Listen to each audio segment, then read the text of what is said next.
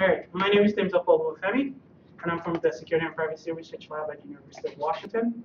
Uh, I'm going to be talking today about the experimental security analysis of non-network compact fluorescent lamps um, in the context of compromised home automation systems. Uh, this work was done in collaboration with the UbiComp lab at the University of Washington as well. So the abstract from my talk will be um, we we're basically trying to investigate the feasibility of coarsened physical harm uh, through the explosion of compact, compact fluorescent lamps uh, to home occupants via an exploited home automation system. And to help us get a scope on this talk, um, the problem or the questions we're trying to answer are, you know, what physical harm can an attacker inflict on the home occupants, right? Um, and in particular, we'll be focusing on devices with non-network capabilities like CFLs. Um, and in using CFLs and a compromised home automation system, is it possible to remotely start fires, cause seizures, or expose home occupants to mercury and shattered glass? These are questions we'll try to answer. Uh, a brief background on home automation um, systems. Uh, I have a, I don't know if I have a laser pointer. But I have a plan. It's right there in front of you. Oh, okay, great.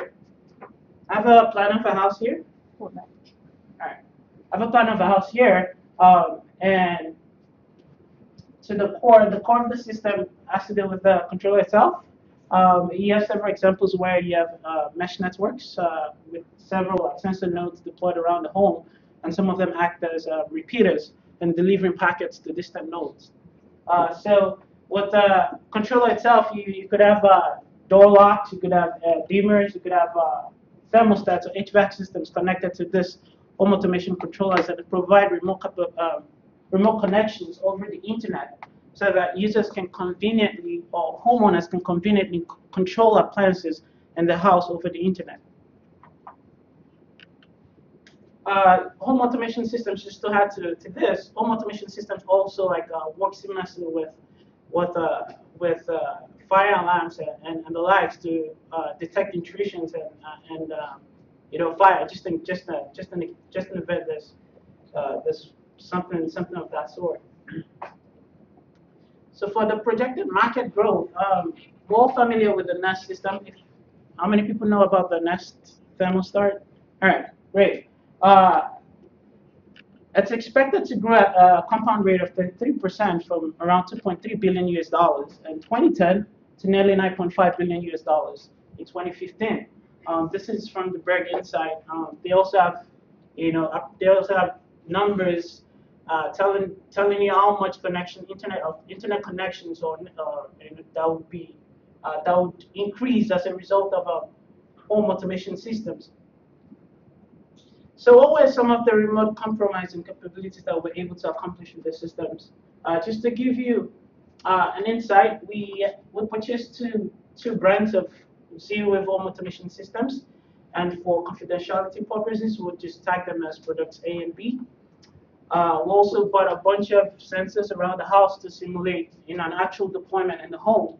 And some of these sensors were, or, or actuators were light switches and dimmers door locks, thermostats, IP cameras, and the likes. So uh, both products were very similar in, in, in the features. Uh, they both had a web, a web interface uh, to allow users to uh, control appliances remotely. Uh, they also had remote capabilities to control over the internet appliances.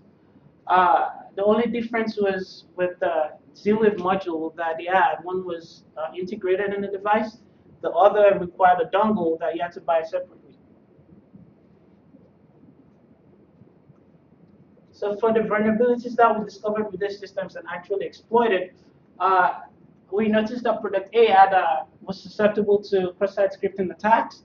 Um, we were able to embed JavaScript code to add a fictitious user uh, with admin privileges while ensuring um, the stealthiness of our, of our attacks on the systems. Uh, with this way, we get direct access to the control panel to turn on lights, light switches remotely over the internet. We could turn on, turn on up. Uh, we could also control HVAC systems that support hungry devices. Uh, we could uh, we could unlock doors. Uh, we could do whatever we wanted to do with the home automation system. Uh, the other thing was with insecure HTTP, where if you were on the same network with the with the homeowner, uh, you could capture packets or eavesdrop some eavesdrop on um, packets, uh, credentials, and extract credentials, login credentials, uh, which would enable you to get access to the system at a later time or instantly. Uh, the other thing with uh, product A was uh, product A was very um, prone to a lot of attacks, as you can tell. Uh, it had uh, VNC server with uh, running on a high numbered port. The issue with that was they had a default password of admin, and if you're like a do-it-yourself or like myself um, and non-technical, uh, you may not know you may not be aware of the fact that uh, you had a VNC server running on there, and so you could get direct an could get direct access to the system and control whatever it wanted to do. Uh, product B, on the other hand, was uh, found that used uh, insecure cookies. Uh, they they did not attach any expiration time or date to it.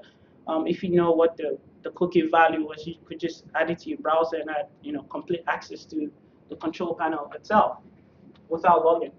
Um, so what are the implications of these vulnerabilities? Um, an attacker can remotely control appliances and actuators in the home. This has been shown by uh, uh, Fouladi and others, and uh, just uh, published work in Black Hat. Uh, they were able to, you know, control light dimmer switches, HVAC systems, alarm systems, door locks. We also did the same thing, uh, except that the attack vector was different. They did, uh, they used, they actually compromised the Z-Wave protocol stack. Uh, the other thing is um, an attacker can view um, feeds of webcams without the homeowner's consent. This is especially creepy uh, if you if you think about having kids and you know putting nanny cams in, in your rooms and, the likes. Um, it's it's very uh, it was very insecure in this regard. Uh, but the important part of our talk, I think, of my talk today is non-networked appliances like CFLs are not exempt from an attacker's manipulations, right? Um, if you if you take a moment back and think about it, uh, manufacturers of these appliances do not think about you know users using um, devices like this in this context where you can remotely manipulate them, and we we we do believe that manufacturers do not test ex extensively, you know, uh, these scenarios uh, of operation, and, and, and, it's more likely for an attacker to, you know, leverage this and, and uh, push the limits of the operations to, to, to regions that have not been tested against. So why would an attacker choose uh, CFLs? It's cheap. It's uh, it's, a, it's out there. Everybody is switching to CFLs these days. Uh, incandescent lamps have been phased out uh, for CFLs due to their energy efficiency.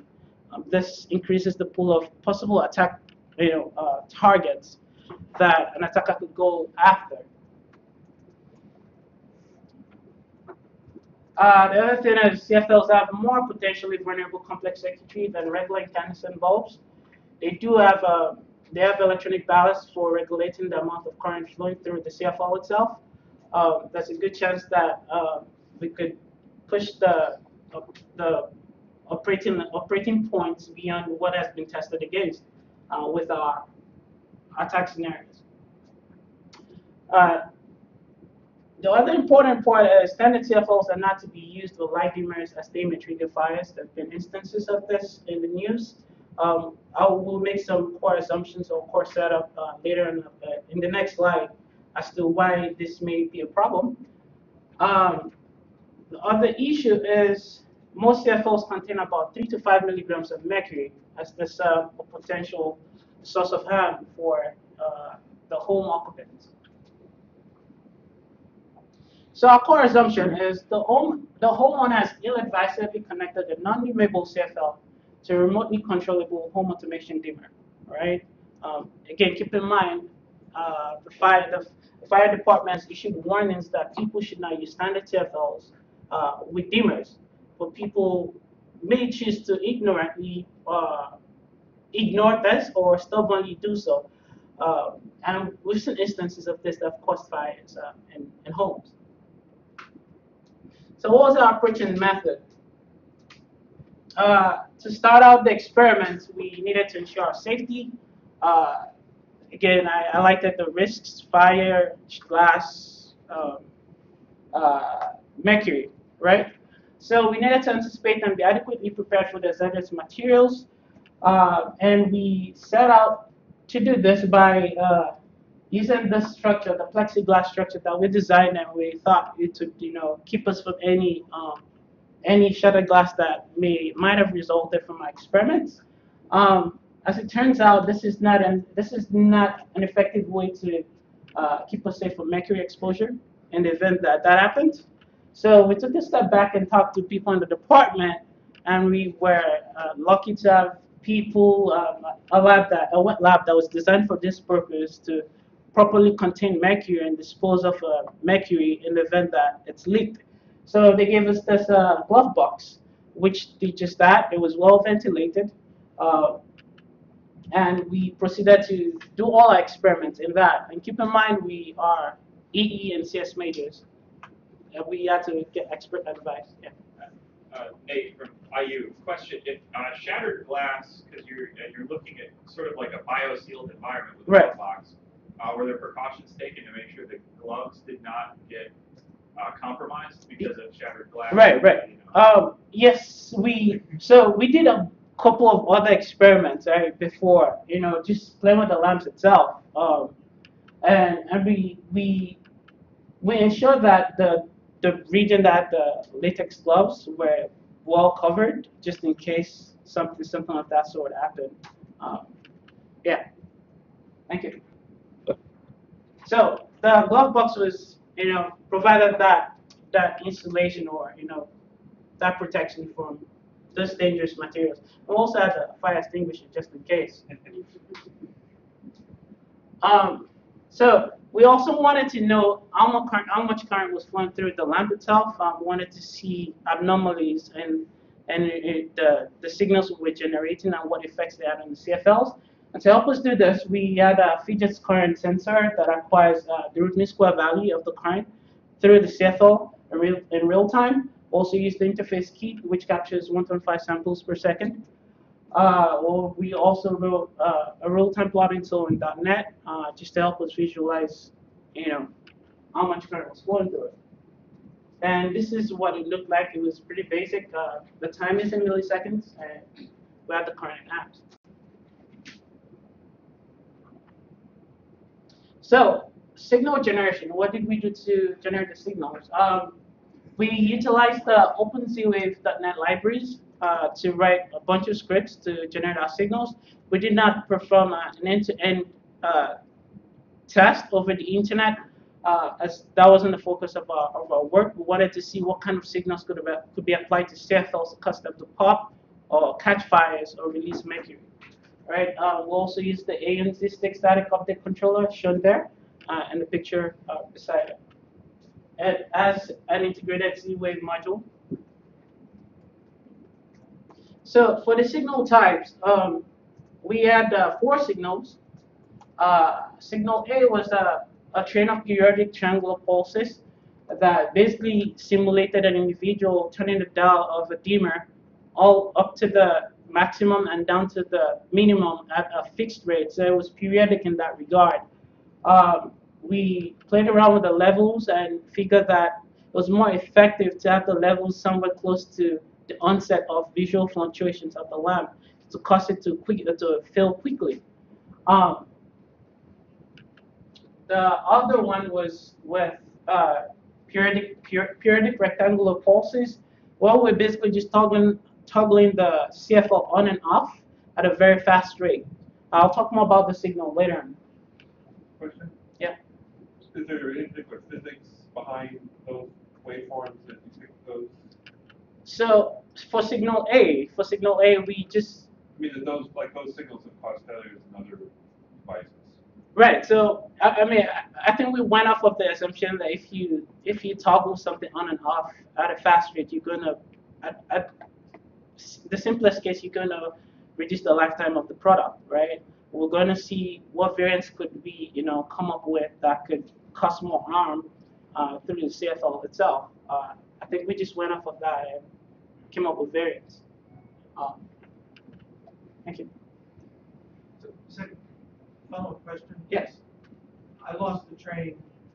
Are these signals to the controller, or is this what the power looks like going? No, this this is the the, the Z-wave dimmer. We're just altering the dimmer level.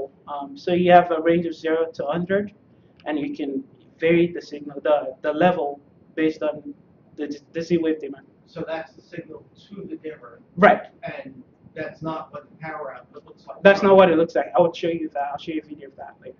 Uh, so signal C, uh, we wanted to introduce some randomness to the thing, right? Um, what we did was use a random number generator with a Gaussian distribution, and we basically comp compared it to a threshold, and based on if it was higher than the threshold or not, we would increase the dimmer level um, on the CFL. Uh, and then the last signal we applied was uh, signal D, which is a combination of signal A and signal C. Uh, what we did was, uh, for the normal operation, we had the generation of signal A, and then we randomly generated current spikes uh, uh, based on some random number generator, uh, just to introduce, you know, random burst of, uh, uh, of current flowing through the CFL. And lots of other, there are lots of possible, you know, um, signals that you could generate. Think of, you know, playing with the threshold uh, and and seeing what effect it has on the signal. Like you said, um, the level for signal A was chosen to to introduce an offset um, to to to was introduced at the onset of, of visual fluctuations on the lamp itself. Um, we've not explored a wide, wider range of uh, possible signals that you could generate. Did you have a question? I, better for the end. All right, cool. All right. So just to explain signal D, uh, the generation of signal D, we had like an initialization sequence, and then we went ahead to generate a random number. And based on the random number, uh, we compared it to uh, threshold, and if it happened to be uh, less than the threshold, would go on with the with the generation of signal A, and we just repeated the cycle over. Now, in the event in the event that the random number that was generated was greater than the threshold, would proceed to um, to generate another random number to to denote the duration of the spike, the current spike, right? And we would set the dimmer level to maximum during that that duration. Um, and then at the end of and they would periodically check it and say, oh, as the current duration expired, and if it's expired, would would regenerate a new number and just go around the circle, the loop. And if it hasn't, we just set the dimmer level to a maximum level. So that's, in a nutshell, how our signal D uh, worked. So I have a video here um, for the actual voltage across the CFL um, during the course of experiments. Uh, this is an oscilloscope with uh, uh, showing uh, two and a half two and a half cycles at at 60 hertz. Uh, the tree goes set to 60 hertz, uh, um, and we'll see the effect in just a second. And that's the y y the y-axis is in, as a the vol the voltage, while the x-axis is the time.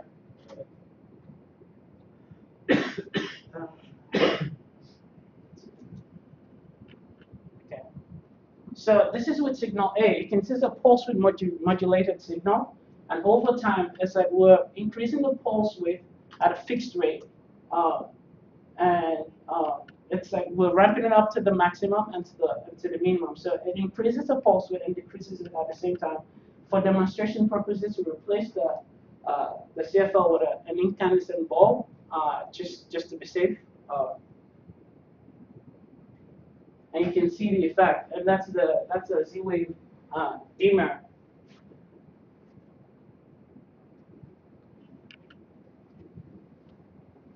So you can see the pulse width increase and decrease. Uh, that was just the operation for for signal A. Now, if you connected this to an actual CFL, you'd see it fluctuate um, at some unsteady state.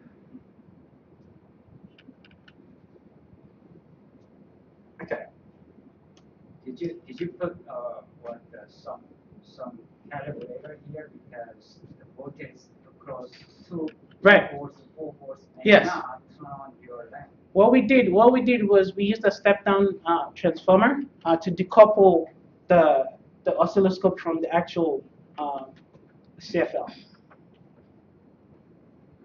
I'm not going to show signal B because uh, as we found out, it, it may induce seizures, um, and for safety reasons, I will not show that. Uh, for signal D, uh, trying to- Uh, that's the current monitor, by the way. You can see random spikes in the, the current monitor. Uh, what we're basically doing is go ahead and generate signal A for the normal operation, and then randomly ramp up the current through it. Uh, and you see from from the oscilloscope, uh, this is like the normal, and, and you can see like the in, run, rapidly increase uh, increase pulse width. Uh, but the normal region is around this region where I'm just ramping up the current to a fixed level uh, for signal A. And then you'd have occasional uh, increases in the pulse width of the signal. So, Yeah. for signal B, how did you protect yourself from getting? So we had uh, we used the disposable trash bags to cover the glove box so that it would not stare directly into the glove box during the experiments. You didn't find out about seizures by a direct result in your lab, I don't. Well, so so we I think it was it was a it was an afterthought when we thought about the frequency at, we, at which we were toggling the lights, and we're like, oh, this is probably it's probably a good idea to just cover this, uh, you know, to not cause. Yeah. Good question. Uh, so results. Uh, we were able to get some CFLs to chart to um, some components, the BJT to be specific, uh, bipolar junction transistor in the in the CFL burnt out. Uh, in this case, you can see that I don't know if you can see the charring around this region um, in the device. Uh, this plot is from the current detector. Uh, so this is this is the result of one of the experiments we're doing where you know running the signal A on the CFL, and we noticed at a particular point that it was about to fail. So what I did in this situation was I disconnected the CFL from the from the dimmer um, and connected it directly to a power outlet, and that that's why you have the spike. But the, the interesting part of it was it actually resulted in a pop. We could hear a pop from the CFL um, and we could see that it was charred at the end of the experiment. And this led us to um, to to take a step back and and revelate how we were conducting the experiments. So we thought this is how signal D came into existence actually. So we thought, how about we introduce random spikes into the signals at you know random times um, and have the normal operation of signal A. And that's what brought about signal D in the first place. Uh, this is some times uh, time to failure for for the CFLs. Um, we did a bunch of um, test runs, but this these are the results of the one we actually accurately um, had timings for.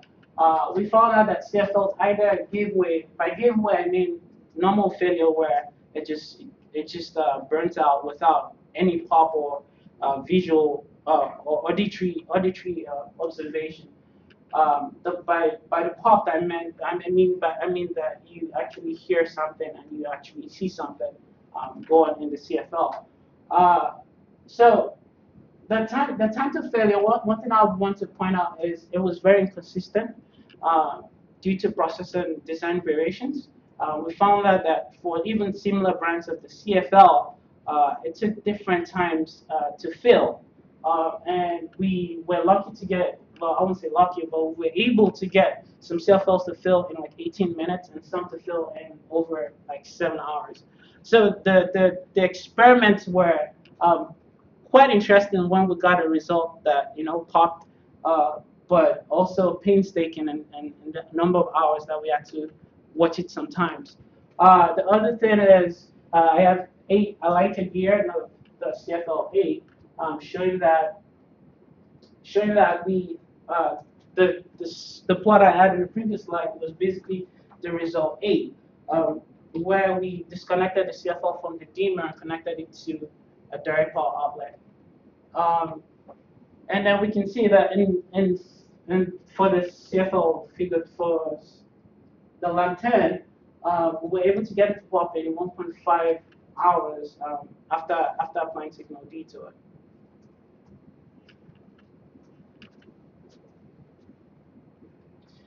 So the applied signal effects. Uh, so we at the, end, at the end of our experiments, we were able to come to a conclusion that signal A was effective in getting the CFL to pop. Uh, so was signal D. Uh, for signal B, we we we concluded that it was able to cause seizures at the rate that we were uh, at the rate at, at which we were toggling at. For mercury, there's no cost-effective way to detect it or, or quantify how much was released. So whenever we did our experiments, we made sure that it was enclosed and properly disposed of within the glove box itself. Um, there was no incidence of shattered glass um, during the course of our experiments. Um, and that just summarizes the effects that those signals had on CFLs.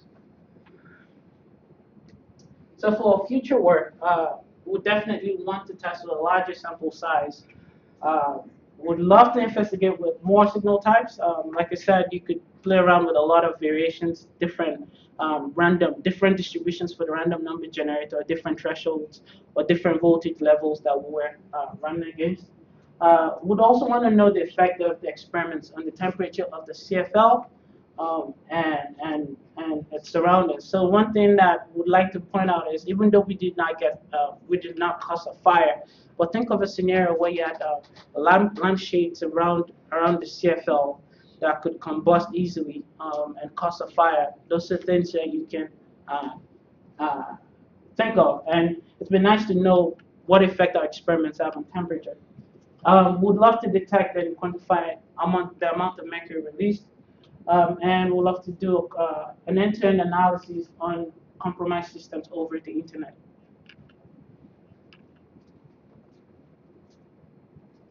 So lessons learned.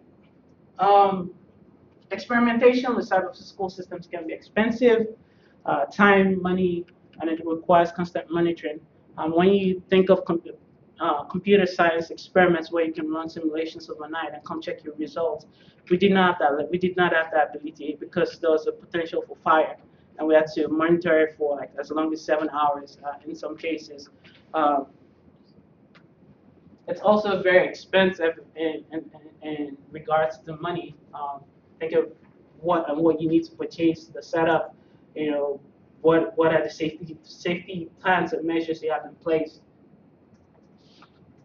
Uh, failure times of CFLs were highly inconsistent due to the process and design variations, as alluded to earlier. Uh, different, if, even, even, even if you had the same brands of CFLs, uh, the times to failure were largely inconsistent. Uh, those, yes, Due to which process? Are you saying manufacturing process? manufacturing process. Manufacturing process on, on the device. So, so that's a hypothesis at this point. That's that's an hypothesis because well we we believe we're able to prove that because we're the same the same brand, right? Dif- the same. Didn't have a statistical. Yeah. And, and you don't have, you don't have ground truth for why they failed. You don't know whether it's a processing problem or a design problem or what the problem was. so with design we, we, for design problems we said we bought two different brands of CFLs, right? They had two different designs and we tested against that, and and they had different times. In fact, if you look looked at the table, um, you notice that one particular brand failed with the pop and the other did not. Uh, we kind of attribute, attributed that to the design design variation. Um, for the process variation, we had the same brands and they had different filling times. So um, I guess it's an hypothesis, but I think it's a hypothesis. okay, it's fair enough. Did you have a question? Or- Um, so I was, uh, just, uh, wondering the, you're, you're discussing expense here. Is, it just expensive according to what we normally do in security? Or uh, expensive according to what, because this still seems pretty cheap compared to bio, uh, bio Well, related, the usual, the usual people we see do Mhm. lots of experiments. Well, it's it's it's cheap. It's relatively cheap compared to other computer science experiments or or research. You have to buy. We had to buy a bunch of different nodes just to simulate the home or deployment in the home. We had to, you know, we had to do other things, uh, safety measures for one. Um, no lab wanted to to just immediately accept, oh, come to come to experiments that could result in a pop or a fire in my lab. You know, these were things that we had to take into consideration um, while doing this experiment.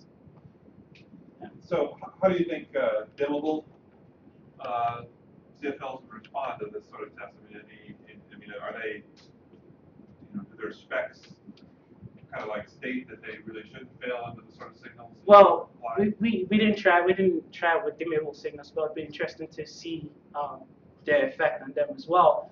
I believe there'll be a region of operation that you can push them to that may result in a failure. Um, but that'll be interesting to see. Oh, Um, how did you plan to, to like stage an attack into the whole? so we we initially showed. Uh, oh, so the question was, how do you plan to stage an attack into a home auto- yeah, the home automation system? We basically demonstrated that we were able to embed JavaScript code uh, and, gain access uh, through cross-site scripting attacks um, to the home automation system.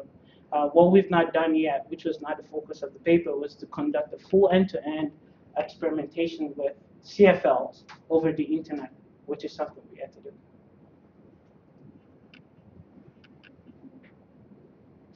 Uh, so the last the last point I had was Signal B had the potential to to induce seizures due to the rate of fluctuations. We're doing it at a very fast rate, and we had to cover it um, with uh, with disposable uh, opaque bu- bags to prevent that from happening.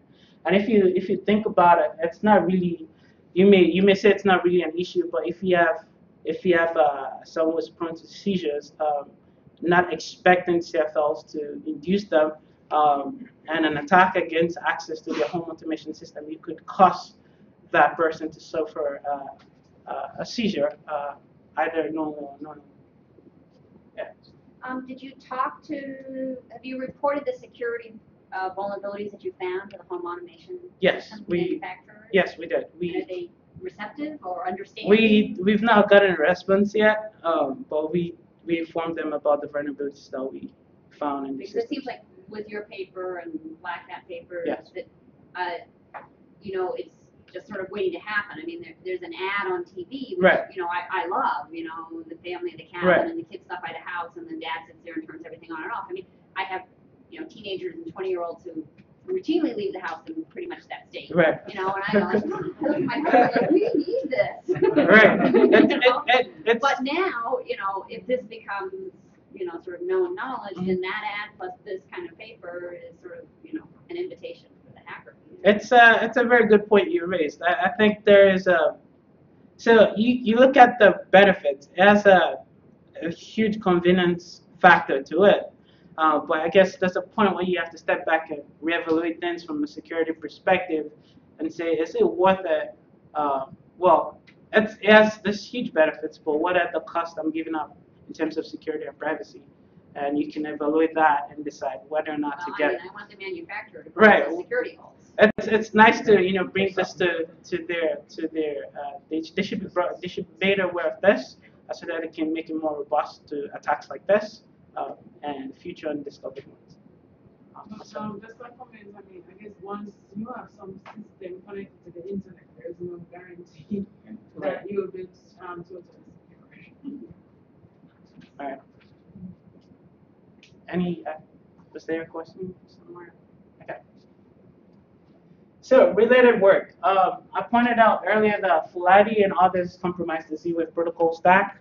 Um, Denning and others also demonstrated that the physical system ex- um, physical exploits to robots robots used in the homes. Uh, they were able to you know manipulate them, get live feeds from them as well. Um, we and others com- compromised this, this. Is the work that was done in Columbia. Uh, the compromise printers through a firmware update um, modification, and they were able. I think they they claimed that they were able to get the printer to um, char papers um, in their work. Uh, Checkoway and others demonstrated the compromise of automobiles, where they were able to disable brakes remotely. They were able to um, uh, to turn on the lights in the car uh, record conversations, eavesdrop on, on conversations in the car. Um, this is some related works in this area. Um, with this, I'd like to thank Professor Karl Böhringer for, for granting us access to his lab. We did all the experiments in his lab. Um, Karl Koscher for um, us feedback on, on feedback and help with the experimentation. Um, and other members of the Security and Privacy Research Lab, uh, exec, Dr. Carrie Gates, and the LISA community, and anonym, anonymous reviewers for the feedback on this work. Um, with that, I'd like to uh, summarize and say our experiments show that non-networked appliances like CFLs uh, are vulnerable to uh, remote manipulations by an attacker. And this should be something that people should start taking into consideration, um, especially um, home automation designers, um, homeowners, and, and researchers. I'd also like to, at this point, open the floor for questions and discussions. Um, I think one thing that comes to mind is, is this possible, is it possible to obtain similar results with binary switches um, uh, from what we found out? Um, and feel free to, this is a discussion, feel free to interject and uh, raise up your concerns. Uh, from what we found out, it's possible to do something of this sort with signal B, where we toggle the light switch, the binary switch on and off at a very fast rate. Um, but we've not, we've not done, we've not done uh, experiments in this this area. Um, I would also want to open up, you know, just a discussion. What other non-networked appliances may be vulnerable, and what appliances would you like to see studied? Um, if you have a, if you, if you have anything, yes. So, Pete Dinsmore from APL, picking up on a comment Greg made earlier, I'd love to see a little bit more work on the physics of the physical side. Okay. Because, you know, you popped it, but what was the physical phenomenon? Right. What actually broke? Mhm. And that would then inform, what do you need to, you almost need to go backwards. Mhm. What's the physical phenomenon I want? And then how do I induce it with the waveforms, rather than trying a bunch of waveforms and seeing if they do something, Right. but do the uh, damage assessment and see, well, what, you know, was it a transistor that overheated? Was it a junction that broke? Right. Was it the, something in the bulb itself that failed? Right. What's, what's the failure analysis? And then how do I induce it? And that would make a, a much more focused experiment and also much more focused mitigations. Right. Of, do I mitigate it in the circuitry in the bulb itself or in the controller? Because then we could actually tell them, tell the controllers, don't allow this situation to occur. Right. And even if they get broken into, there may be safe, yeah, safeguards in the controller about the physical aspects of what it was doing. Because that's, in the end, Mhm. the data you had was all about the physical effect rather than the side Right. I, I, completely agree. It would take, you know, reviewing the schematic and analyzing um, what the normal operations are and what the, um, you know, boundaries are, you know, and what we can push it to do. Um, I completely agree with that. Um, there- There's a potential trivial defense to consider with this attack too, that might be worth looking at poking holes in. Uh, uh, that is, well, I'll just use LED bulbs and everything. And that, those potentially will have some circuitry issues again, but Mhm. you don't have to worry about the mercury. Right. Um, and you still have huge power savings. Uh, now, you, you could certainly denial of service the individual's budget if you blow a bunch of their LED bulbs because they're not really cheap. But Mhm. uh, the health risks, uh, Right. find it, except for maybe seizures, are lower. Okay. Yeah, that, that sounds, uh, we actually considered doing, doing some experiments on LED bulbs, but we, we didn't get there yet. Uh, uh, we did not get there at the time we published the paper. Your previous slide lists a bunch of uh, other successful attacks. And your, your discussion slide suggests that maybe there's more attacks that uh, could be successful, and maybe all that is true. What, what seemed missing here to me is the extraction of some kind of scientific principle that could be investigated that threads its way through all of these things, but somehow unifies strikes me that it might be more critical to figure out what the scientific underpinnings are than it would be to stage yet another attack.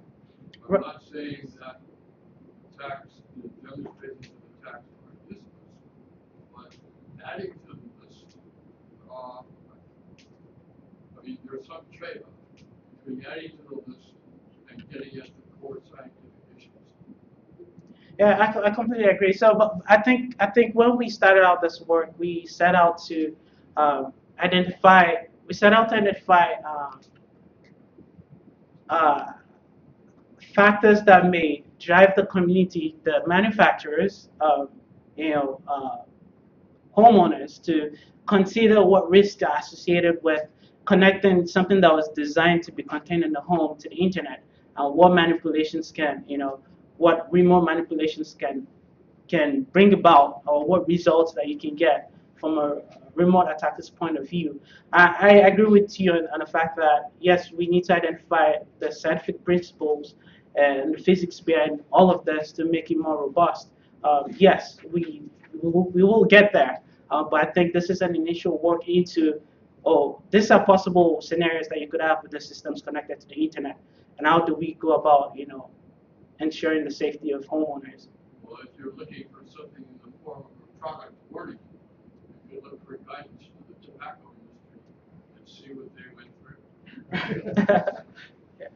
Uh, so, so to, to follow up on that is this idea of uh, sort of uh, getting to the, uh, not necessarily in my case talking about this grand thread, uh, not using physics as the grand thread, uh, but I, I've, I've evangelized on this a couple years ago at a large industry con- security conference. And the idea is, as academics, uh, we have a very useful position because we are not reliant upon immediate sources. In, in some ways, we're not relying upon the immediate profit line that a lot of organizations Mhm. and security researchers are reliant on that usually causes them to do just straight attack research. And when we see, I, I think what would be useful as a thread and, and what we have the leniency to do as academics that a lot of the industry security researchers can't do is that when we have studies like this, we don't really have a good framework of judging the risk of these sorts of attacks. So that could also be this nice universal thread as you go through it. Because and because when we talk about these, we are proving a binary. We're just saying, yes, it is possible to do this. But just saying it is possible to do that does not allow me as an individual to make an educated decision on how to mitigate the attacks. Right. Uh, because how, what are the costs am I going to in protecting my network, educate, you know, the cost of education, money, et cetera, et cetera. And as academics, we can look into that. Uh, and, but uh, the people who usually produce a lot of the attack research just end up doing the binary research they work for a concerted security consulting firm, and doing the binary research is, you know, fits in the product cycle, it's great PR, et cetera, et cetera. Right. But they just can't look beyond the surface level. They just don't have the time. I agree. So I actually, since we're gonna break for lunch here, I just want to make a comment since uh, Lucy wasn't in the uh, program committee discussions. uh, Want to share just a little bit about what we saw valuable in this paper and, why we thought it was appropriate for this conference. And it really was driven by the methodology, and that's actually uh, why uh, Dr. Gates was uh, involved in uh, helping shepherd the, the the paper to to really bring out the notion of what was the methodology because the notion is so that it can be reproducible, so that you can do the sort of statistical test to, you know, determine whether or not a particular factor uh, is, is, is significant. Uh, but we thought the real contribution was let's, let's nail down the methodology and get that documented through the workshop uh, so that it can be used. And it's so that that notion of nailing down the documents, knowing, nailing down the methodology, then becomes a, reference for other people saying, okay, if I want to investigate this area for, for, for, uh, attacks, here's here's something that I can look at and say, okay, I need to create a methodology like that in order to do an effective evaluation. So I just wanted to add that before, before we Yeah.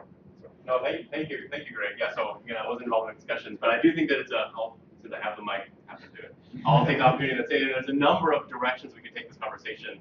Uh, one of which was just, how do we think about doing security with physical artifacts like this safely? Um, you know, when we may not a priori actually know the risks. So we knew about explosions, we knew about mercury, you know, we knew about, you know, potential fires, but things like seizures, you know, how, you know, what, what steps does one need to take to understand the thought of everything?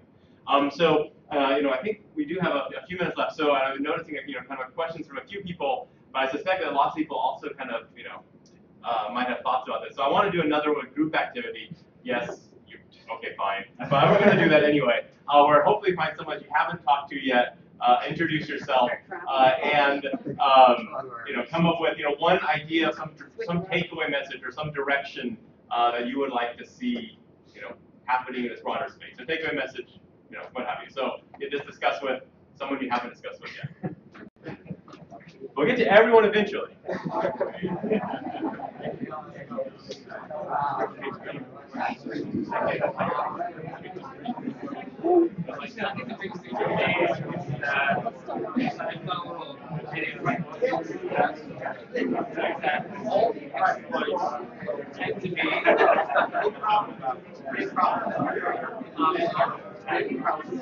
Good.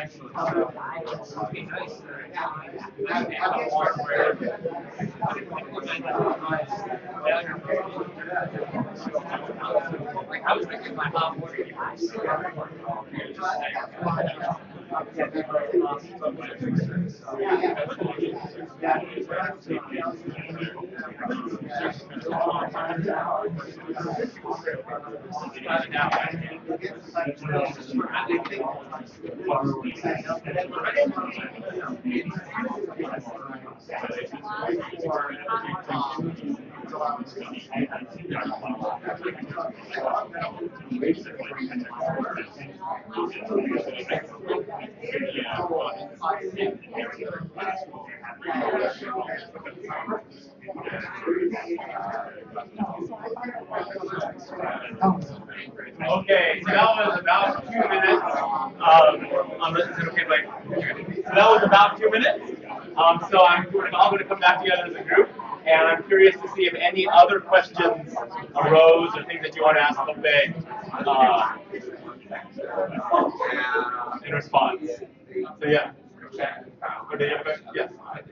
Ar- Aren't you glad to see that people are so inspired by your, your group activities? I, I am, yes, I am excited to see that. Hey, Good to hear people discussing. Yoshi. Um, Also, there's, there is a capability for the people who are remotely Yeah. viewing to ask questions Oh, if they sure. want. Yeah. So, uh, we haven't gotten any questions from folks remotely, but if they want to ask, they can, and we do Okay. have someone monitoring their chat sessions. Oh, great. Okay, and they know that, so they can they can ask. Hopefully they Yeah, do, got but. it. Okay. So in the you know seven minutes left, I'm not sure exactly. Uh, I know. Yes.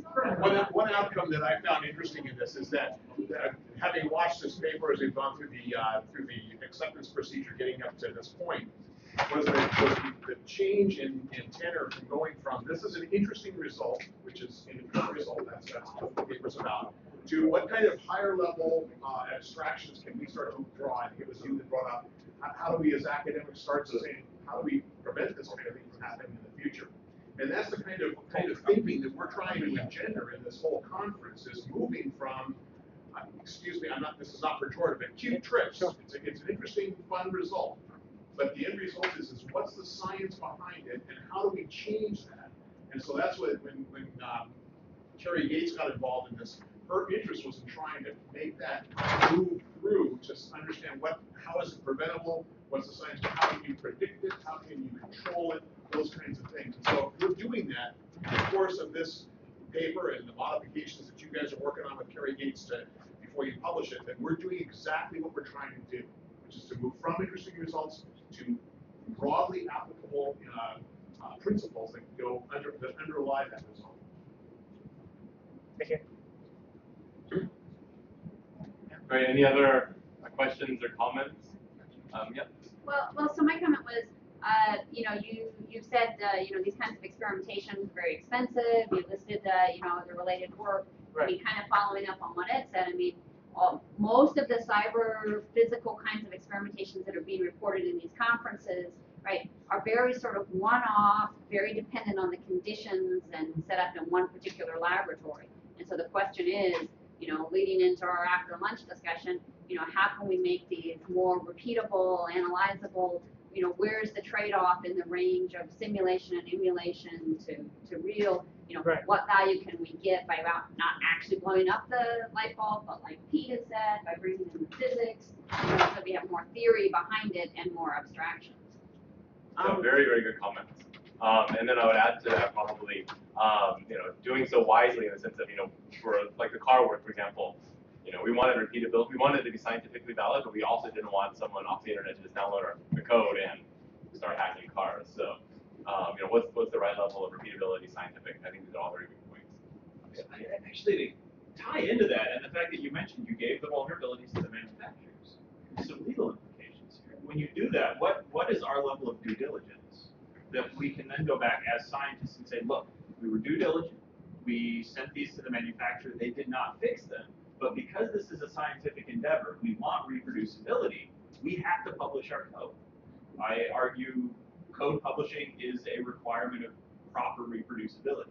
And so, at what point can you legally shield yourself from any ramifications? Because while you were due diligent in protecting against these bugs, the manufacturer, however, was not, and just sat on the reporting of the vulns for who knows how long. That is a good question, uh, and I suspect that the answer might depend on the situation. Yeah. Um, you know, I think another thing of kind of doing our, you know, job of trying to protect manufacturers that, you know, is a discussion point is we actually said product A and product B, and we didn't point fingers at names, and that was because we didn't want someone to, you know, we didn't want to facilitate the exploitation of systems. But on the other hand, someone might argue, well, we actually need to know, you know, which are these particular products you looked at and so on.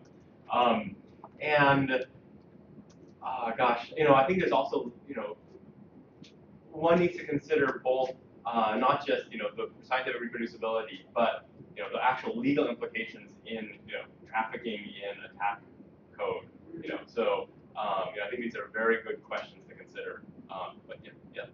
I just want to share, um, I guess my, my view of this research. I, first of all, I love this. This is you know, so fun. Um, my background is my undergrad in electrical engineering, so I felt really at home here. This was wonderful, probably you know one of the you know, most at-home presentations I'll have. Um, and I'm also taking courses in the reliability engineering department. My advisor's in that department, and this fits you know squarely in those those fields. And I just wanted to, to point out um, that there is literature in reliability engineering where you will see models typically of like a light bulb um, model for what is the time to failure of a, of a, a light bulb. It's like the textbook example that they give. Yeah. And so I would encourage you to just just look at uh, what's out there and you can see how your data fit into that. There's also models for accelerated testing, Okay. um, so that you don't have to you know wait 18 hours Right. in some of these. Um, there's also models for That'd be nice to have. yeah, yeah, and, and, it, and it's out there. I just, yeah, I just wanted to point out to you. Um, there's also uh, models for uh, what they call the uh, censored data, where it failed, but you don't know when in the time interval it failed. Because you came back the next morning, Right. and it, it was broken. And and that's again out there. There's, there's textbooks on that. Um, we, we have a course at the University of Maryland. It's called the Physics of Failure, and that fits right into to this kind of stuff. Where you can get into the actual device. Um, you mentioned the pop, and now I have to go back to my yeah undergrad lab days in you know the electronics lab, and I actually saw was looking very carefully at the, the picture that you showed of one of the CFLs, and I could recognize uh, elect- electrolytic capacitor. That's Right. a cylindrical device. with like Yeah. blue and black in there. Actually, I have the board. I could pass it around if, if you guys. Um, I'll, I'll pass on that just because of the mercury. no, but it was it was shielded. We didn't we didn't break the the the container. Uh, okay, so maybe. just the ballast itself. May- Maybe then, maybe. It's um, and and so just to, to read some physics on that, typically if you're being you know badly behaved in your lab class and you want to make the electrolytic you know capacitor pop, um, you reverse bias it, Mhm. and um, that'll cause problems. My guess is that wasn't exactly what it was, but Mhm. um, there's also the, uh, the the property that the charge on a capacitor is a state variable, meaning it can't change instantly. And so as soon as you, you showed that plot and it said, oh, we had this surge, Right. and then we heard the pop, Mhm. I thought, oh, that's just That's that's. so electrolytic capacitor just just Right. through that, you know. So keep, keep in mind, just to add to that, we we don't we don't have access to the light bulb itself. Well, all we're doing was just remotely, and I think it made it difficult. So you mentioned reversing the polarity on the capacitor. um, if we had actual access to it, um, to the to the dimmer, to the CFL, maybe maybe there would have been ways to do that. Uh, but we're doing all of this like remotely, um, and we're assuming that the attacker doesn't have access to this things. Under- Understand, great. Um, Anyway, thank you for letting me add that. I Yeah, thanks. enjoyed this. Thank you very much. One last comment. That kind of extraction that you're talking about is exactly what we're after, because what we're trying to get to is, let's take ideas like from a CFL study, like what you're doing. Can we extract things that we, that we know are vulnerabilities, and we can apply them in situations like SCADA control, for example, or implantable medical devices? I mean, those are higher risk or higher consequence kinds of things. And so, are- can we learn something in a cheap and, and easily repeatable environment, CFLs, that applies to very high, highly critical kinds of applications later on? That's what we're looking for. Right. Thanks. Great. Thank Uh, so let's thank Copan